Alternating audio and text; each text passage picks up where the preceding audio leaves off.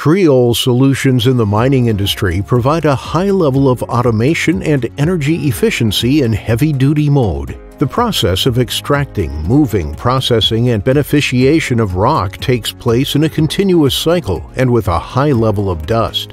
The use of General Industrial electric motors makes the industry one of the most energy-consuming. The AT27 and AT24 are equipped with a special set of functions that are required in mining enterprises. For heavy-duty mode, VFDs with mechanisms with significant overloads are used. Triol products provide protection for motors and mechanisms, which helps to prolong their life. Kinetic buffering technology ensures non-stop mode of equipment during mains voltage sags. NEMA 4 degree of protection, reliable operation with conductive rocks and in conditions of high dust content. Vector control algorithm to optimize crusher speed, reduces motor power consumption through high precision motor control and magnetic flux optimization, resulting in a 30% reduction in energy consumption.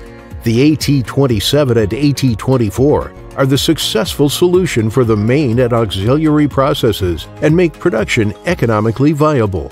Work with Triol. Sell knowledge.